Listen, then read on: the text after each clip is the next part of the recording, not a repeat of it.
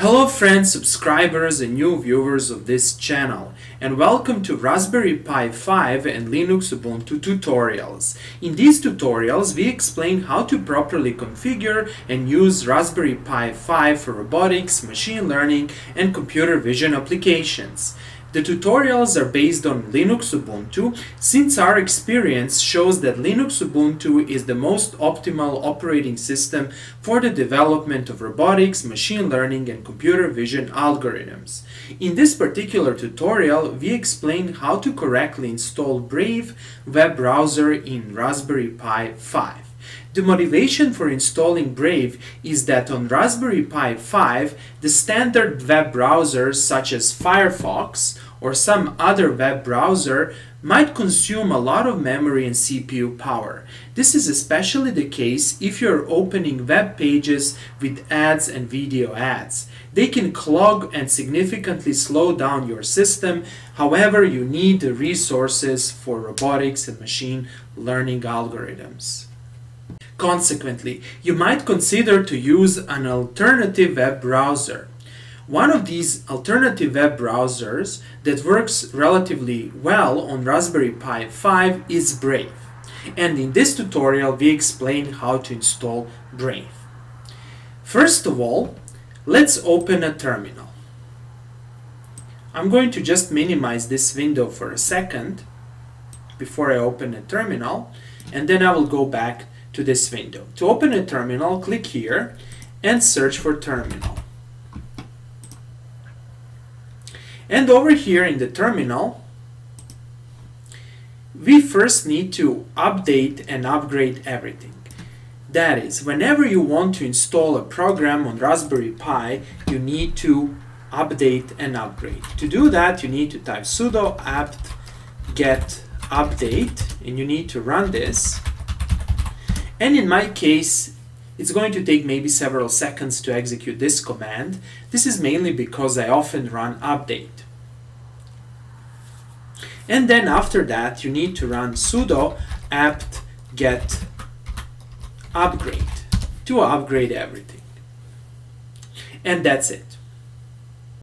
The installation of Brave is relatively simple. You just need to go to this official web page then on this official web page, if you scroll all the way down, you will see the instructions. And over here, you have the instructions for several Linux distributions. You have for Debian, Ubuntu Mint, then you have Fedora, Rocky, and the other versions. In our case, we need to execute these commands. So let's do that. First of all, let's make sure that curl is installed. Let me now do this and go back to my terminal and let's execute these commands. This will install curl. You most likely have curl, however it's still a good idea to install it. Aha, it looks like I don't have. This is because I recently installed my operating system. Next you need to run this command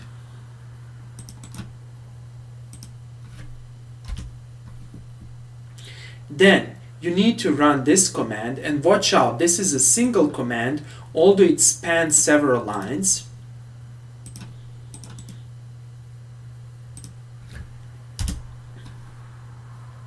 Then you need to again do update.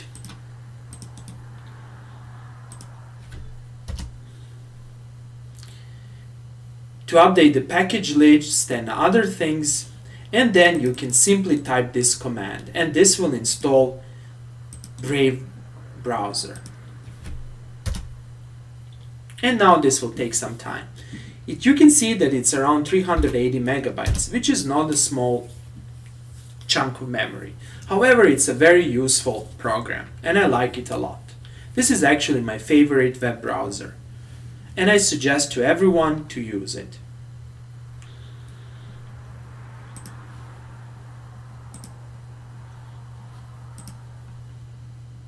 Okay, we are almost there. And that's it. Next, let's test Brave. To test Brave, simply click here and type Brave. And you should see this lion looking image, start here, and this should start your Brave. And here it is. Here's the welcome menu. So now let's try to Google something. So for example, let's go to google.com and then let's type why why Brave is a good browser. Let's see. And then you can find bunch of images. You can see Reddit and you can see this AI overview. It has a privacy. It has a very good privacy. Brave blocks ads, trackers, and third-party data storage by default. It's secure. It's fast, it saves battery. This is also very important, especially for Raspberry Pi and mobile data. It has a lot of built-in features and easy to switch. Very good. The next step is optional. You might consider to make Brave to be your default web browser. Let's learn how to do that. To do that, you need to click over here on Show Apps, then search for Settings, once you click on settings and you see this window, you need to find the appropriate option. So expand this and over here under settings, find apps. Click on apps and click on default apps. And over here for web, you can click and you can, for example, select Brave web browser or you can switch to Firefox or wherever you like and that's it. Of course, over here you can do additional setups, you can change calendar, music, video, etc. Good.